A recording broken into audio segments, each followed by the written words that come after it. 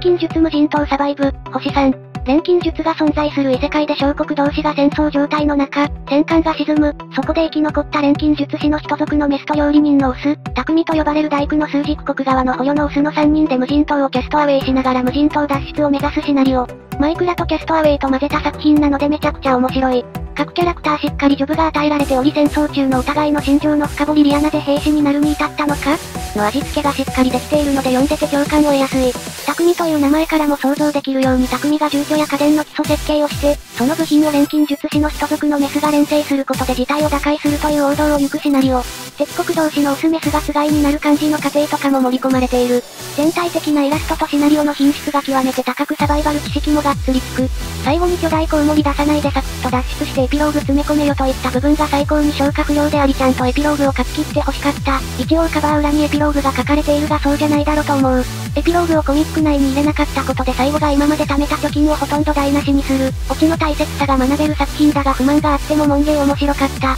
でもオチがダメだったら今までの貯金を大量にドブに捨ててしまう。